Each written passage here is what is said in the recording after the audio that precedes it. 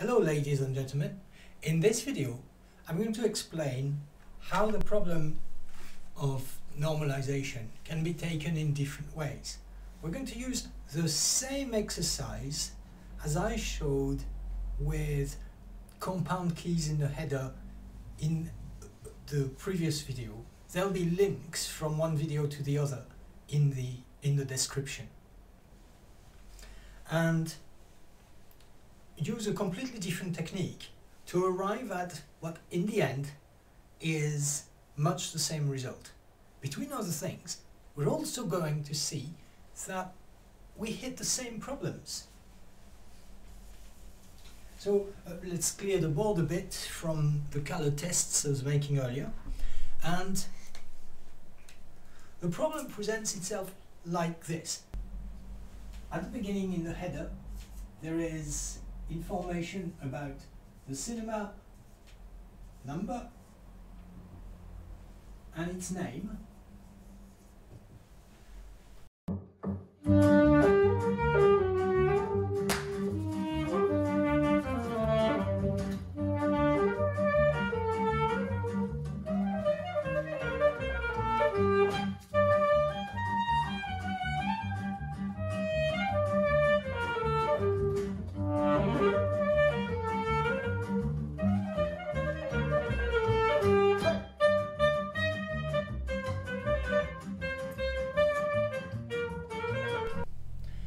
we've got is a classic of pattern with a header at the top, lines underneath. For each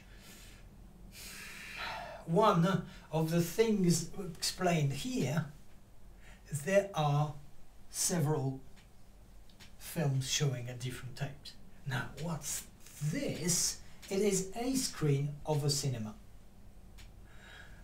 Um, that in that place we have something that departs a little from the classic presentation of, uh, uh, of data. And what we're going to do to try and understand it is we're going to use a determinants diagram. I'm going to try and turn the lighting away to get less, to make it less shiny. There. The, let's see about the number of the cinema. So number, it's one of those things that is likely to be a good key for something.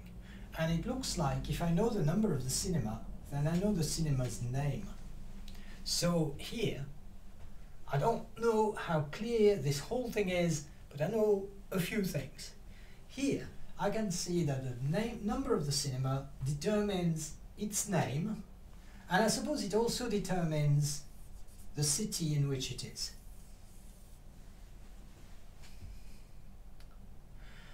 What else have we got? Uh, I'm confused about accessibility because it's not just the screen. It's also... We'll talk about it later because I want to do the easy ones there and there's another easy bunch of uh, information here which is that if I know which film it is then obviously that determines the film's name and it also determines the film's duration.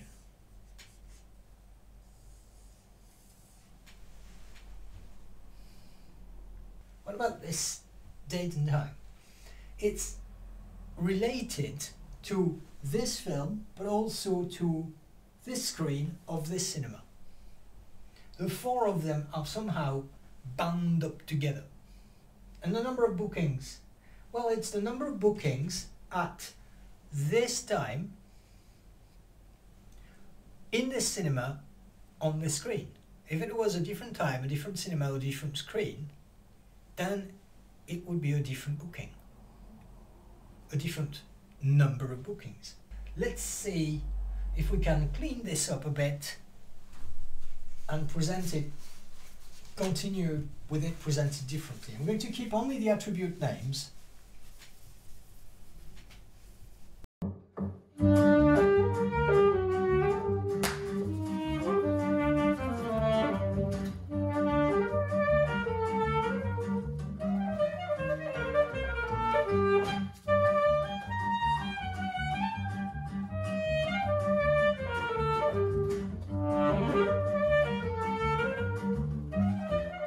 ID.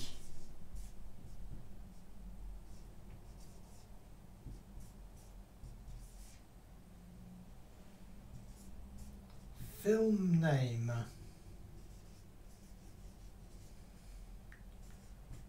And film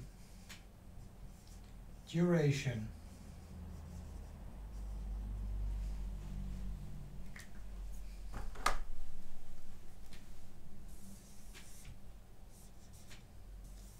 Can go here.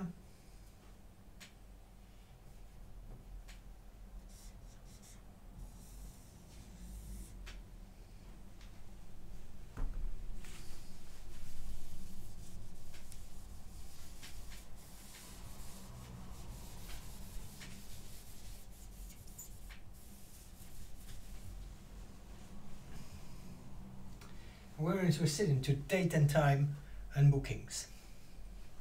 Okay, I have removed all the values of attributes and rearranged the information that we have in a way that gives us more space. So the cinema number determines the name of the cinema and the city where it is. It's still not very clear how the cinema, the screen, the accessibility, the number of seats relate to each other. And then there's the film ID, which determines information to do with the film. And date time and booking are also not terribly clear. Let's do something about the cinema number in the screen. The trick is this, to know whether this place is accessible or not. The, I need to know which place it is, and that is this screen of this cinema in a cinema there could be you know one screen that is in a room that is a bit older and because of that accessible through steps and so well not accessible. And so I need to know both of these things. When we have two things determining another we say that it is a compound determinant a bit like compound primary keys. And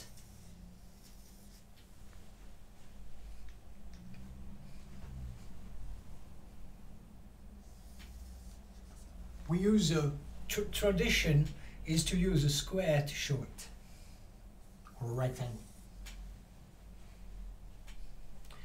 If I know this screen of the cinema, it also determines how many seats there are. There are small screens, small rooms with a screen, large screens, and that's the number of seats. Right. What about the date and time and the number of bookings? The number of bookings is determined by a lot of other things. If I know which screen it is of which cinema and when it is, then I know how many people are booking. Ah, me do some cleanup again.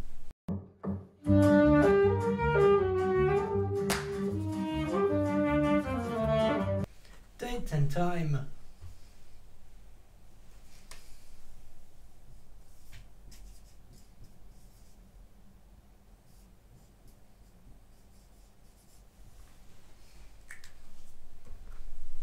A part of a large determinant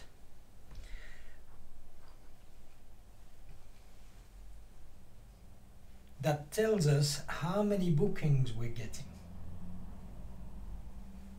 The large determinant, it's in this cinema, on the screen, at this time.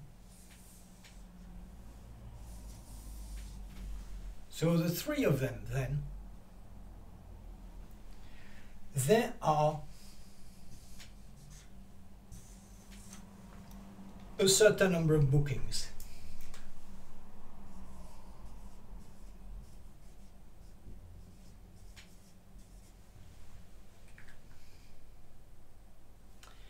Finally, in the cinema, at the screen and at this time, I'm showing a certain film.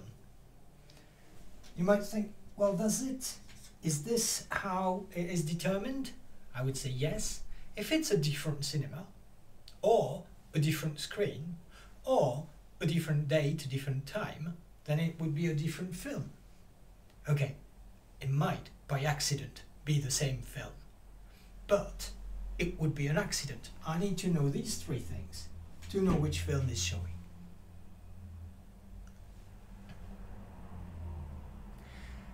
That's it. And now I know every potential primary key in my data.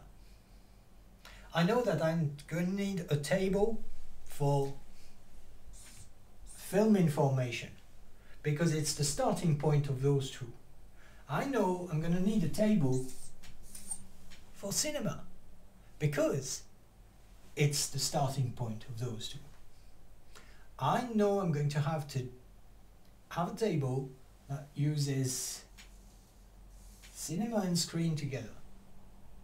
And finally, I know I need a table for the triple. I counted four tables.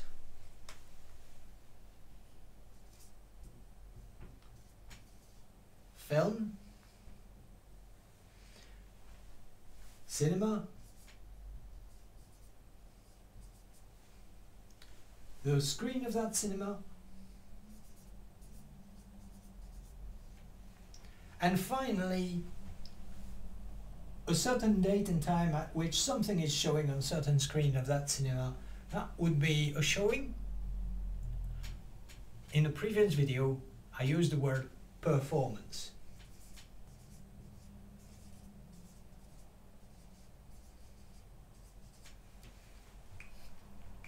Right, yet more wiping and rewriting to be able to work out this in the form of a succession of tables.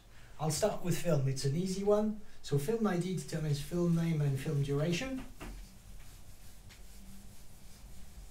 That's a table of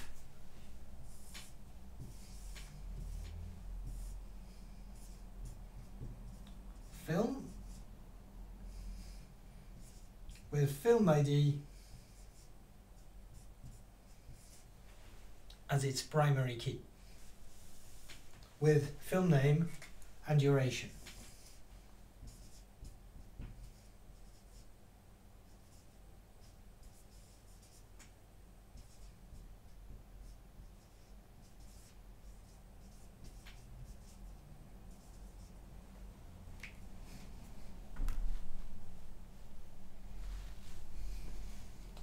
Right. Then there is the cinema information. This is going to get confusing. I'm going to place it up here, I think.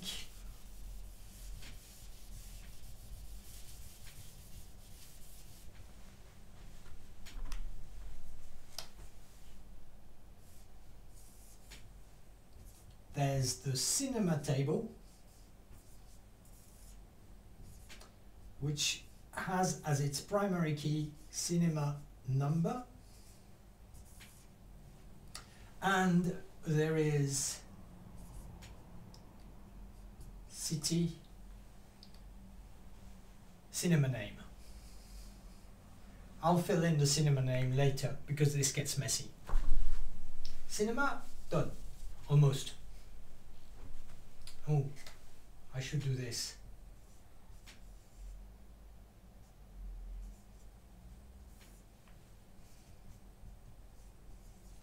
Film was done.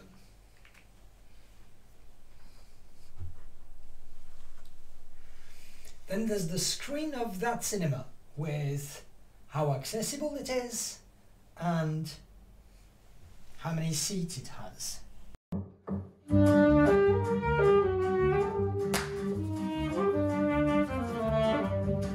Seats and accessibility.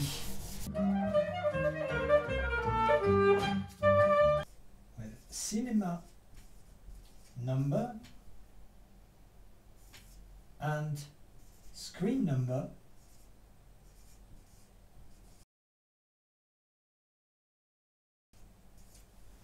as a compound determinant. Before I move on, something about how those two are related to each other. The, the screen is in one cinema and each cinema's got a number of screens. So we should see a relationship between those two going this way. Each screen in one cinema, each cinema in several screens. We've also got cinema number here and here. So one of those two is a foreign key. This one is the primary key of the cinema. So the foreign key is the other one. Oh, I can write here the cinema name.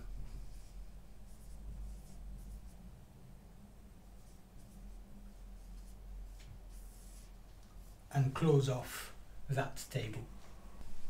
I'll finish this one off in a moment. And we're almost done. We're left with the performance. The performance, it was at one screen of one cinema at a given date and time. We have a certain number of bookings and we're showing a certain film. Okay, so it's at one screen of one cinema. That's cinema number, screen number. And to determine the rest of the information, I also need to know when this is. Date and time. A compound key made of three arguments, three attributes. This is the performance table.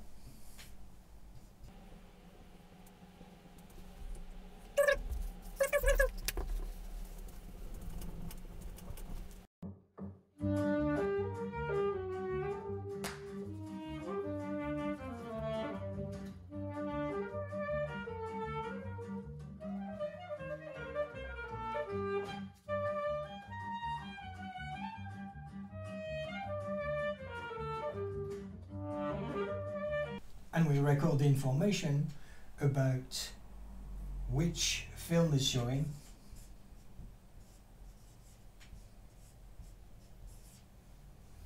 and how many bookings there are for it.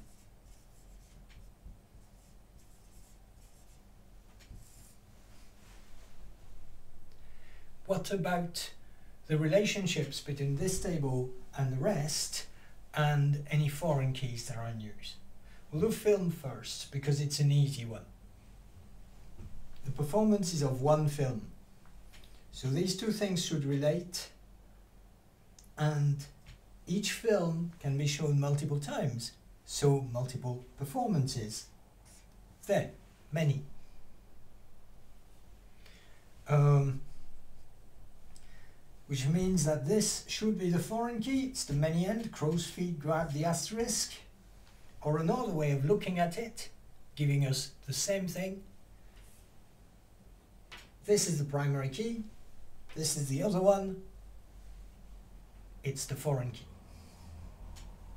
What about those two? The primary key of screen is this pair, cinema number plus screen number. And here we have got cinema number, screen number. So this pair here refers to this pair there. This is a foreign key that refers to the primary key of the screen.